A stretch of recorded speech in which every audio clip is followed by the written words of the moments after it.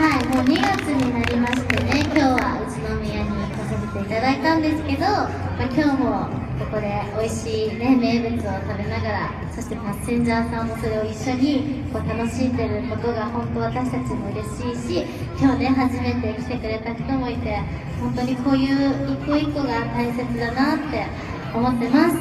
そして、えー10日からはツアーが始まるんですけど今それに向けてあのたくさん話し合いをしててとっても楽しいツアーになると思うんですけどこの「ミスターウェンズデー」をリリースできてやっぱその後も大事だなって思ってるんですね。でもそれ以降の話も今進めていてなんかどうしたらパッセンジャーさんと一緒にこうずっと楽しんでいけるかなってなんだろう今だけじゃなくてこれからもずっとみんなとなんかいい思い出が作りたいなって思って、えー今動いてるのであのみんなもね